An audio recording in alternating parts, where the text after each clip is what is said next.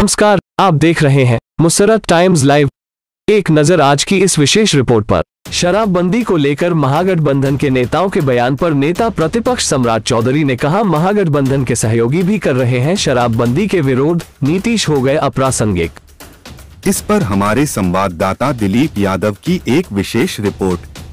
बिहार विधानसभा में नेता प्रतिपक्ष सम्राट चौधरी ने मुख्यमंत्री नीतीश कुमार को लेकर बड़ा बयान दिया। उन्होंने कहा कि शराबबंदी का विरोध उनकी सहयोगी पार्टी करें। हाल ही ऐसा है कि सरकार के मंत्री भी शराबबंदी को विफल मान रहे उनकी पार्टी के लोग भी शराबबंदी को विफल मान रहे इसका मतलब साफ़ है कि मुख्यमंत्री नीतीश कुमार का इकबाल पार्टी के अंदर है और सहयोगी दल के बीच पूरी तरह से खत्म हो गया है। मुख्यमंत्री मजबूर है। सम्राट चौधरी ने कहा, बिहार में जब शराबबंदी लागू हुआ था, भारतीय जनता पार्टी विपक्ष में थी, लेकिन अच्छी बात थी, इसलिए हम लोगों ने समर्थन किया था।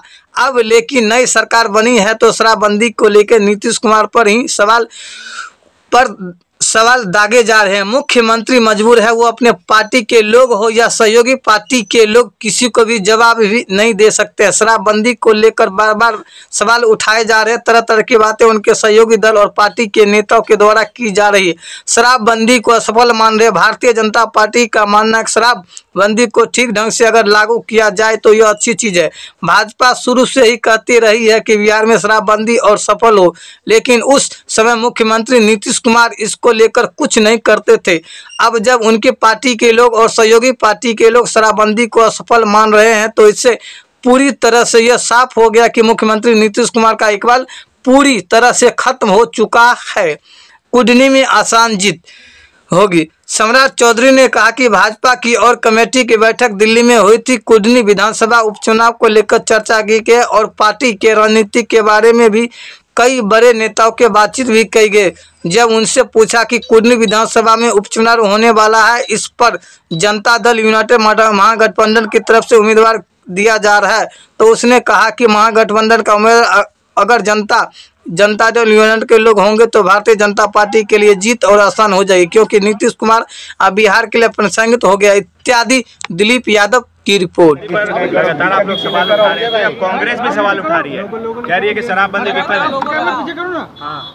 के नेता लोगों ने कहा है इससे स्पष्ट है कि नीतीश कुमार जी का इकबाल खत्म हो चुका और नीतीश कुमार जी के शासन में बिहार नहीं चल सकता। ये उनके पार्टी के लोग चैलेंज कर रहे हैं। सर आप दावा किया जा रहा है? दिल्ली गए थे बैठक हुई है बीजेपी का क्या कुछ हुआ है? क्या कुछ देखिए अभी हम लोग अब चुनाव की तैयारी कर रहे हैं। उसी की बैठक थी क्योंकि पहले वर्चुअल बैठक हुई थी अब फ़िज़िकल बैठक हुई। अब तैयारी हम लोग कर रहे हैं। फिर दो चुनाव में हम लोगों ने पूरी तरह जो महागठबंधन था उसको प्रस्त किया था। आगे भी जो कुरनी का चुनाव है उसमें हम लोग जीत हासिल करेंगे। देखिए कुर्री में जो सीट है वो जदयू के से खाते चली गई है। जदयू दावा कर रही है कि जीत होगी। अब जिसके भी खाते में जाए उससे तो कोई फ़र्क पड़ना नहीं है। क्योंकि नीतीश कुमार जी के खाते में यदि गई तो और अच्छा है कि नीतीश कुमार तो अप्रासंगिक है उनके पास कोई वोट नहीं है। देखिए शराबबंदी निश्चित रूप से लागू होना चाहिए सख्ती से और कोई अगर गौड़ निकालता है, कोई माफिया तो तो उसमें बीच बीच में होता है उसका संशोधन। तो आप लोग ने कोई एक बयान दिया जो पीने वाले को नहीं पकड़ा जाएगा, ऐसा कोई बयान नहीं था।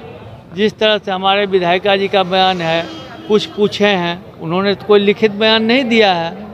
हम सभी लोग शराबबंदी के पक्ष में शपथ लिए हैं, प्रण लिए हैं और हम लोग चाहते हैं कि इसको सख्ती से लागू किया जाए और माफिया तक जो उसके काट में कोई निकालते हैं, कोई रास्ता, उस पर भी सख्ती से वो सरकार विचारेगी।